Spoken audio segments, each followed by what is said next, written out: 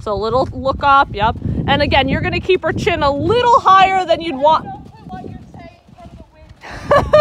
you're gonna keep her chin a little higher than you'd normally want it, just in case she wants to play around, you know?